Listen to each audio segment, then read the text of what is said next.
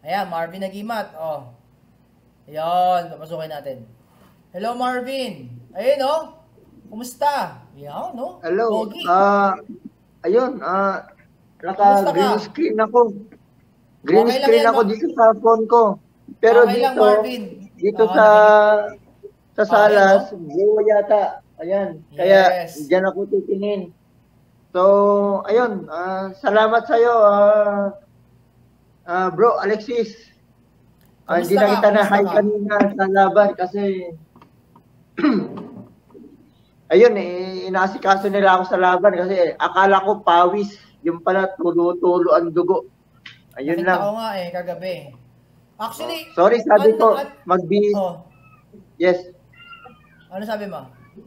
Ah, sabi ko magbibihis ako pero nagtimpla ako ng kape. Sorry, hindi ako nagbihis na.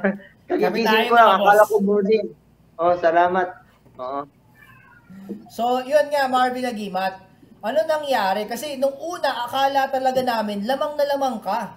Lamang na lamang ka, Marvin eh. Ano nangyari? Yes. Napuruhan ka ba nun? Sa ah, second round ba yun? Ah, second round? Na nahirapan ako sa ganun. Tapos Ah, sinasapak na-clinch ako sa ka. buka. Doon Oo, ako medyo ka. Na naisip ko na hindi pala to boxing, bernacle pala kasama pala yun sa rules.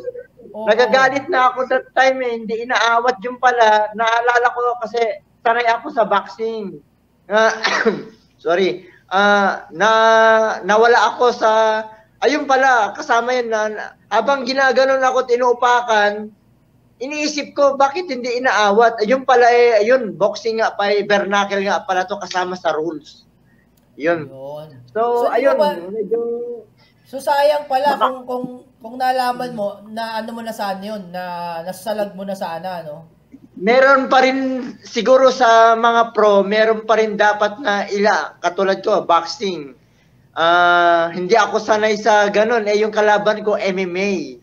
Ah, sanay sila sa ganun. Kaya, ang gandang match, para sa akin, magandang match. May learnings pa rin dapat ang mga boxingero sa mga ganun. Kahit pa paano. So, proud naman ako kahit pa paano ganun nangyari. ah, masaya ang laban at saka napaka-entertaining. Basta, ah, basta may mga laban pa tayong darating.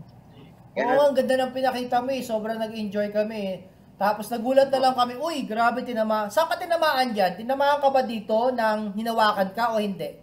Yung tama sa yun, yun, yung mga dugo ko dito, tama to ng grab, yung ah, hawak, Nung bang, bang. ka. Ah. Oo, hindi ako tinamaan sa standing, puro sa hawak Oo. ito. Hindi ito, basta yun lang, kaya medyo napapahay na lang ako, hay, ano ba yan? Kahit pa paano. Ah, lesson learned, ganun pa rin. Oo. Tapos ito, may uh, si uh, Boy Tato Original ang aking ipinasok na ipasok mo kabakal na kung pwede kami maglaban. Eh, ano yun? Ah, pwede na makaso ang mangyayari nun kasi, ang problema natin sa vlogger, okay? Ang, pwede, ang problema sa vlogger, isa lang ang pwede kong ipasok sa mga vlogger. Okay, kunyari, pinasok ko itong si Boy Tato, automatic, wala na akong pwedeng ipasok na vlogger. Kumbaga, yung slot, kinuha na ni Boy Tato. Kaya ang inilalaban kasi dito, bro, ang sinabi rin sa akin ni Sir Aaron, as much as possible, ang kalaban dapat ng vlogger, vlogger din. Na, Vlogger kasi ikaw, din. vlogger ka kaso, pro fighter ka kasi. Alam mo yun. Kaya, ang mangyayari nun din, ang, isa pa bro, sa vlogger kasi, kailangan mag-hype. Eh, mabait ka naman eh. Hindi ka, hindi ka pwedeng, alam mo, Si Boy mabait Tato, eh. mabait din eh. Mabait din si Boy Tato. Hindi siya, basta yun lang ang tita ko sa kanya. Bro, Kailangan si- ng hype si, talaga. Oo. Si Boy Tato, mabait si Boy Tato. Pero kung mag-hype yon, wawalang yain ka nun. Yun yung sinasabi ko, Oo. na marunong Oo. siyang mangwalang ya sa hype. So, syempre, kapag kumuha tayo ng vlogger, walang ya, alam yun, hype talaga yung mga yan. Kaya, Hype yun ang problema talaga. kapag, oo, yun yun. Kaya, ang nangyayari niyan, so for now, ang, ang pwedeng lumaban sa mga pro fighter, as much as possible, pro fighter. Vlogger, vlogger. Kasi ngayon, isang slot lang ang pwede, pwede, pwede natin ibigay sa vlogger. Kaya as much as possible, vlogger sa vlogger. So ask ko lang sa iyo bro, anong na-experience mo sa laban? Ano yung kakaibang na-experience mo sa laban mo sa bare knuckle? Ngayon ka lang ba naduguan ng muka? Oo, oh, ngayon. Ngayon lang. First time ever, grabe. Oo, sa totoo, ngayon lang naging uh, chungangers yung mukha ko. so, totally, uh, through humble naman, uh, nag-boxing ako, nag-sparring, pero ang ganda ko. yun lang, yun lang masasabi ko. Saka, iba talaga ang uh, peace. Iba talaga. Jab pa lang, malutong na.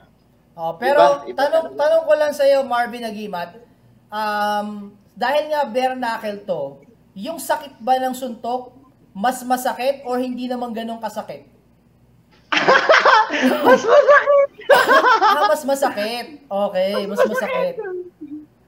Okay, Totally, mas masakit. pagkasuntok kasi sa may gloves, pak! Nawawala yung pain sa may gloves eh. Ito naman, Hmm. bare knuckle, pak! Hanggang ngayon, meron pa rin. Oo. Tsaka ano, iba magbigay ng damage eh, no? Dugo oh, iba magbigay ng damage. Kaya pag na ito, na, na, na, nagilidan mo ng suntok parang blade. Hmm.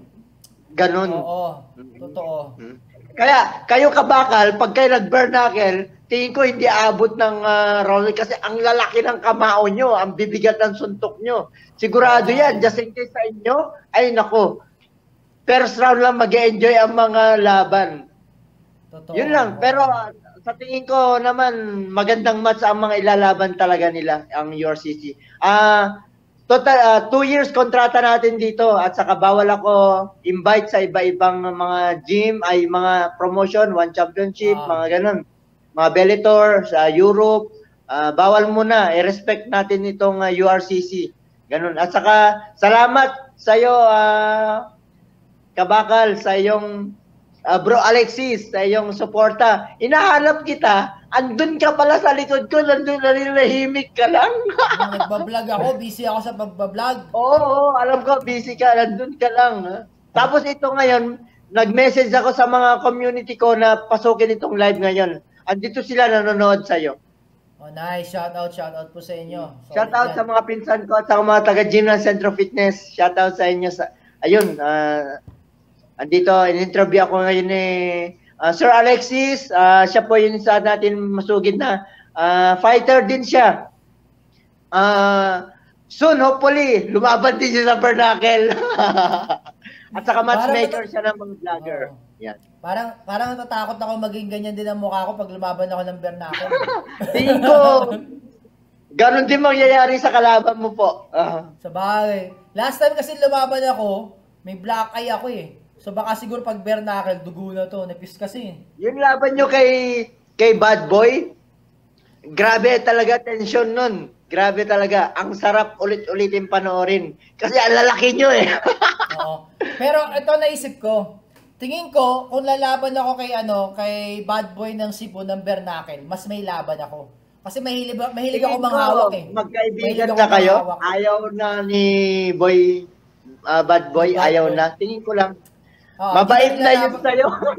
saka nakita niya yung respect. Saka, wala naman kayong pinagawa yan dalawa. Wala. Nag-match lang talaga ako. naman kayo eh. Oo. Pero at least, At saka ang galing, Agimat, ang galing ng community natin. Hopefully, ito po, uh, Aster Alexis, dito pagtitibayin ng URCC, ang mga pro boxer na lalaban ngayon, alam ko, ibang bansa ang atin na tatargetin. Mga dadayo Tama. dito, either tayo dadayo. Yun ang isa na nasa isip ko noon pa. So, hopefully, ito, mag-training, nagpupush yung mga community ko sa gym. Coach, kuya, mag-training ka. Wala kang, huwag kang mahiya na ganun nangyari sa'yo, maganda pinakita mo. Ah, yun lang. Tapos nakita ko yung vlog nyo, sinend ko sa Facebook ko, then ayun, pinapanood pa rin nila. Kahit sila naka, naka per, per, per, pay-per-view pala sila at pinanood nila sa smart TV nila sa salas, family, ganun. Napakaganda ang support nito. At saka, kahit ako yun ah, natalo, ah, proud pa rin po ako at ah, nabigyan ko ang laban ng opening ng Bernacle URCC dito sa Pilipinas. Yun Oo, lang po. ikaw yung kauna-unahang lumaban eh sa parang ilan kayo? Dalawa lang kayo nag-bernacle no sa mga pro. Ah, Dalawa ba? O, tatlo? apat po kami. Hindi, yung iba MMA. At saka yung nag-draw. Yung nag-draw po, in-invite ng team kami House Centro Fitness na maging team namin. Hmm. Si si Compo, si si Ronnie si Ronnie Esparas, wala po siyang gym at saka manager. Oh, okay. kaya So pala. nakita po ni Daniel, Sir Daniel Po- Porondo, yung guest speaker, isa po sa mga advisor ko. Ah, kunin natin to. Team kami po siya. Kunin natin to at wala siyang ah, team. Kawawa naman at saka may potential. Ah, hopefully soon, abangan nyo din po yung mga laban niya. Draw siya dito sa Bernacle. Yan. Yun nga, may nag-draw nga, lupit eh. Ask ko naman sa iyo, bro, ah, kasi alam ko, medyo nagpapahinga ka na nung time na lumaban si Mr. Mainit at saka si ano, si ah Map Soberano. So ngayon, ask ko lang sa iyo, napanood mo ba yung laban nila? O Yes, umakyat ako sa kabilang stage na suntukan kayo. Ano nangyari sa akin? Bakbakan to. Eh, nagwawala ako doon. Eh, hindi sila, kumbaga, kahit pa paano, kung hindi nag-hype si Mr. Mainit na nag, nag ah, matrix, matrix pa, naku, kailangan talaga ng entertaining. Si Map, Diba? hindi, hanggang doon na lang, pumorma ng si Map. Gumawa lang ng paraan si Mr. Mainit. Ah, Oh, so, totally shout out sa'yo, Map. Alam ko, naramdaman ko din yun na yun pagkatalo, totally, hopefully, pag lumaban ka ulit, more more aggressive pa po. Yun lang.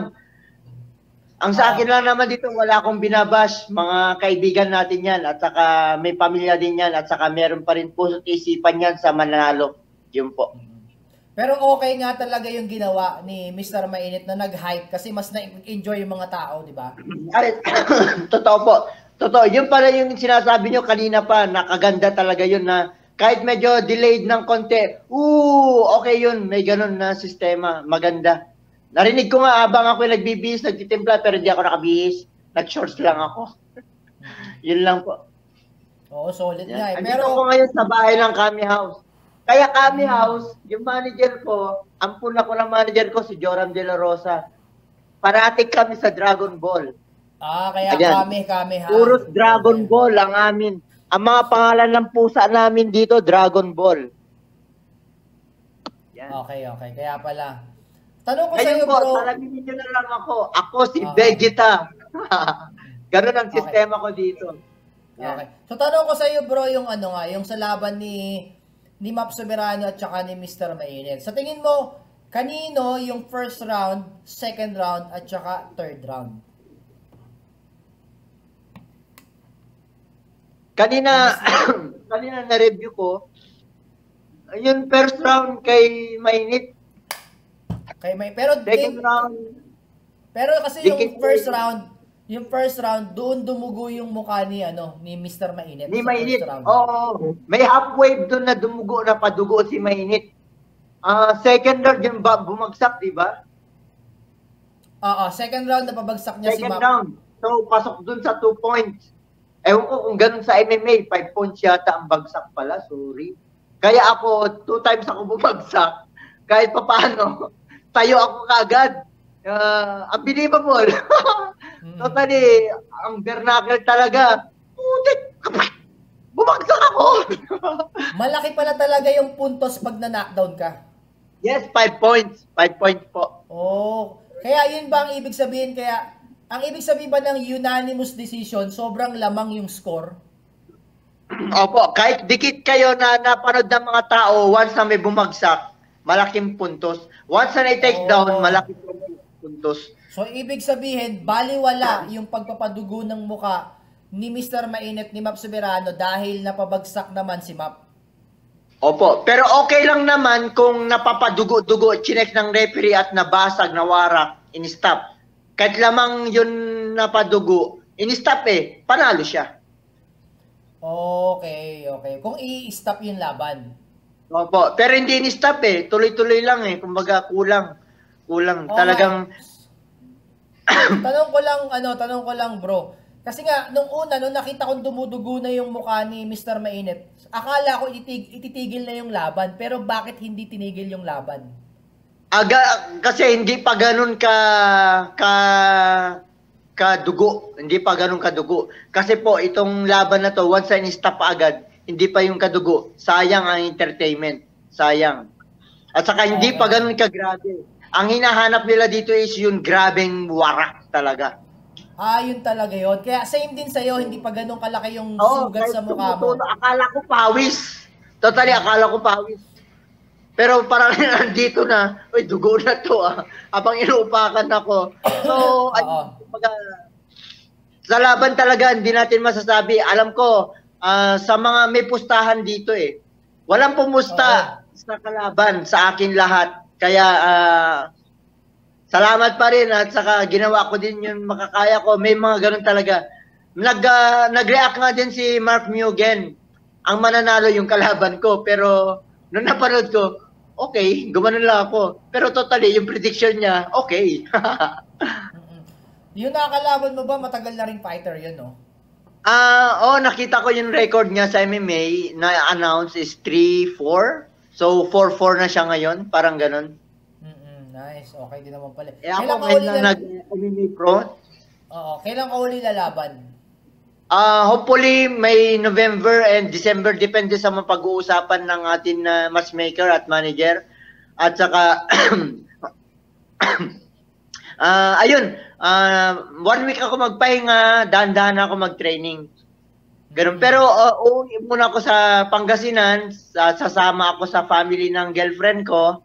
At ah, ayun, imimit ko din ganun kasi meron silang tinatawag na, ano yun? Ah, death anniversary ng daddy niya, then mamit ko din yung family niya. Parang ganun.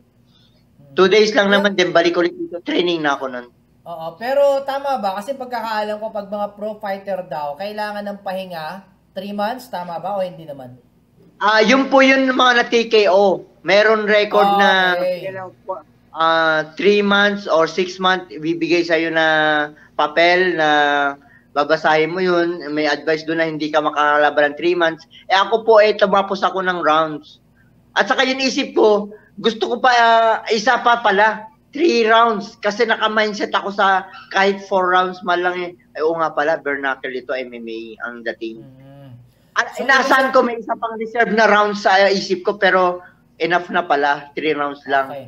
Yun So, yung pala- condition. Mm-mm. Yung so, ibig condition sabihin ko- pala, bro, ibig sabihin, kapag na-knockout ka, saka ka magpapahinga ng 3 months. Pag hindi ka na-knockout, ilang buwan ka lang magpapahinga? Ah, one, sorry, one month po, one month pwede na i-schedule kung pwede. Oh, Ganun po. Okay, okay. Sorry. So, yun pala yun. So, ibig sabihin, ah, okay. So, ito pala yun, Marvin. So, dahil si Boss Bullet na knockout, 3 months yung pahinga niya kay Mamot, dapat. Yes, yes, yes, yes. Parang ganun po, 3 months. Yun. Oh, so ibig sabihin, ito namang si Mr. Mainit at saka itong si Map Soberano, dahil wala namang knockout, ito bang kay Map, wait lang, kay Map na knockdown siya, eh, pero hindi siya na knockout. Pahinga niya ba 3 Hindi po, months? Hindi. okay, okay, okay, okay yun. Mhm. Ah, okay. Okay so, yun. after one month, pwede na palang lumaban ulit si Mr. Mainit at saka si Map Soberano after one month. Mhm.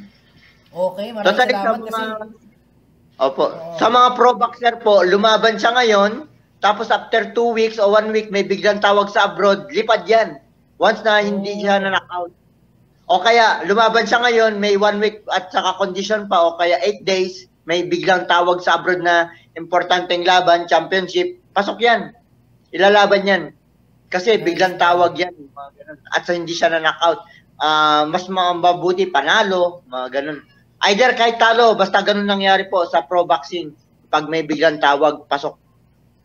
Nice, nice. Tapos, di ba, pa, meron ba kayo, parang meron kayong mga sariling ring girls or round girls sa Kame House? Kasi nakita ko Ah, kasama opo. ninyo eh. Ah, sa team kami po, ah, siya po nag-provide ng mga ring girls at saka yung nga meron tayong mga Miss Universe na ring ah, ah, girls next. Tama po yung narinig ko kanina, may mga bisita na Yun nga eh, mga parang ring, mga Miss ring Universe girls eh. Team kami house, universe, mga ganun. Ilan, Miss ilan Universe. yung ano, ilan yung kasama natin na ringers na naghawak ng kami house tsaka ng mga ano na mga parang Miss Universe ba yun? May Miss Universe po kanina nakipag-connecting. Ah, kagabi? Kanina ba? Kagabi? Kagabi, Oo. oo, kagabi. May mga nakipag-connecting doon. ah, nag-hi lang ako. Hi, nag-peace. Ang gaganda ng tatangkad. Oo, eh. Pero yung ring Kumbaga, yung ring yung ring girls ilan? Yung ring girls kagabi ng kami house. Kagabi. Lahat ba? Ah, ap, alam ko, apat. Apat sa team kami at, apa, at saka sa may kabila pa eh. May yung mga nakaputi hindi ko kilala. Oo nga eh. Okay, so ngayon alam ko na para sa next month sa Okada eh pag nandoon ka, eh, pakilala mo naman ako. Opo, opo. Ah, sure na po ba yun sa Okada? Okada, ah, sabi, no, it's either November 26 or November 27. Ano yun? Ah, yun daw, yun sabi. Ah, si Mamut mismo nagsabi rin sa akin. eh. Ah, waiting lang po ako. Baka may schedule ulit ako doon. Hindi ko masabi. Eh, siguro may one week. Bigla akong sabihan. Ganun. If ever man. Kasi two years ang contract natin dito eh. Sa URCC. Ganun po. Either ipapahinga muna ako. Ganun siguro. Palalaman ko na lang kung ano sabi ni manager. Oh, tapos ibigay mo rin yung contact ko sa baka gusto kong gawing sponsor ng camera. Nagpi-vape din kasi ako. Kung gusto niya mag-sponsor tayo na sponsor sa akin ng vape, pwede ko i-promote yung vape. 'Di ba camera? Ah, siguro once na pag ah, pagbanggain ko kayo next time na if ever man ayun ah, para may konting slot na meet up mga ganun para Yes. maganda. Ganun. Sige, sige. Ah, ano, kasi ano mo ako? busy ka, busy din siya. Lalo na ikaw, busy ka. Talagang once na nandiyan na sa stage, alam ko, papasok ka na at kukuha ka ng ah, slot mo sa video. Ah, Oo, alam ko, nakikita tayo doon. Mm. Oo. Kumbaga, isa kang magaling na commentator. Alam mo ba yon? Diba? Maraming maraming salamat Yun, naman. I'm proud of you at nandito ka sa industry na ganito. Grabe. Yan. Oo, totally. nag-enjoy ako. totally, ito masasabi ko. Isa ako dati sa number one mong basher. Nasabi ko na Basher? yun sa pan. Basher mo ako dati pero nakita ko, oo nga pala no, yung binabash ko mabuti to eh. Okay to eh. Okay yung mga salitaan niya eh. Ba't ako tinatamaan? Eh, tama naman. O di ba? O ayun, so hopefully makita ko to, yayakapin ko to. Yun ang sinabi ko sa isip ko. Promise talaga. Kasi yun, yun mga nangyari nun sa vlogger, sa mga YouTube vlogger, nainis ako dun sa mga totally natatamaan, natatamaan yung feeling ng mga viewer. Isa ako sa viewer nun, yun sa mga angasan. Yung mga ganun ba? Kaya bentang-benta yun. Promise, bentang-benta yung mga hype, Totoo bentang-benta. Oo, basta ano ah, Nag-shout pag, sa'yo, binigyan. oo, pag ano, pag, basta let me know lang kapag yun nga, pag nakausap mo si boss mo, so let me know, baka pwede ako makausap din para dito. So sayang, di ba? Oh, maganda, maganda yung tandem natin. Malay natin, maging team kami, house ka rin. Pwede, no? Pwede. I don't mind. Di ba? Team Kami Oo. House, pwede rin naman eh. Wag, wag, Eh, wag kumatos, team kami, house yan eh. Talaga, kaya pala kasama niya kagabi. Oo. Then, andito rin yung aking ah, isa sa sa likod ng likod ko, sa likod ng likod ko, no? Ah, sa likod ng ah, Marvin ah, Marvin De La Cruz na fighter, may mga taong sumusuporta sa akin. Isa diyan si Sir ah, Forondo, Daniel Forondo. Yun guest speaker. Hmm. Mm-mm. Isa po yan na isa po yan na military sa uh, Sa abroad ba? Teka, medyo nagang ako. Medyo nagang ako. Hindi niya pwede, hindi niya masyadong sinasabi kung saan siya nakalugar eh. Ganun lang po. Oh, Mm. sige, okay lang yan. Mm. So yun, alam ko Nakadelay Marvin naging ng- Opo. Oo. So yun, alam ko Marvin Nagima at nagpapahinga ka pa at masama pa yung pakiramdam. Kaya nagpapasalamat ako sa iyo sa pagbigay mo ng time Salamat sa akin po. at saka Salamat. pagsagot sa mga katanungan namin. So yun, Marvin Nagimat, pag pagaling ka at shout out sa iyong YouTube channel, Marvin Nagimat Vlog. So mga kabakal gusto niyo i-check. salamat po sa mga may mga nadagdagang subscribers ko then ah hopefully i ah Yung mga, okay lang ba na i-vlog ko na yung mga sparring ko nitong, uh, kasi ayaw nila ipapost ko sa YouTube yung mga sparring ko. Tingin ko okay na ngayon eh. Eh, wala naman na akong, ipakita ko lang yung ganun. Tapos At saka yun- laban mo eh. Saka yung sparring mate ko, ah, siya yung tumataw, tumatayo naman kay Bernus. Ganun ang dating. Hmm. Si Lord yun eh, sa Dragon Ball, Bernus ang dating. Totally, ang Ah, ang si record Berus. niya ay Berus, yeah, Berus. Ah, ang record Lord niya Berus. 15 wins, 15 wins, 15 KO, 1 draw. Tapos 13 first round KO ang record niya. Then 2 rounds lang yung dalawa niyang ah 13 ah dalawang ah, yung dalawang laban niya 2 rounds inabot ng knockout, lahat knockout, 15 wins, 15 KO. Kaya isa sa naispatan na ilalaban din ng Bernacle 115 pounds. Nice, nice. Okay yan. Okay. So, So, meron abangan bang natin sabihin, uh, uh, Marvin Nagimat, bago tayo magpaalam sa ating mga kabakan na nanonood ngayon? Ah, ang masasabi ko lang po, suportahan natin ang ating Alexis Tolentino. Huwag natin yan pababayaan at napaka galing mag-comment at saka napaka-supportive din niya at saka napakabuting tao niyan. At saka ang isa pa, i-subscribe mo din ako, Marvin Agimat Vlog. Yep. Thank you then. Marami pa tayong paglalabanan na mapapanood at saka updated tayo lagi kay ah, Alexis Tolentino. Salamat na marami. Sir Alexis, I love you. Maraming salamat sa iyo, Marvin Bye. Nagimat. Pagaling ka. Mm, Magandang gabi. Opo. Mabuhay ka, Marvin. Magandang gabi.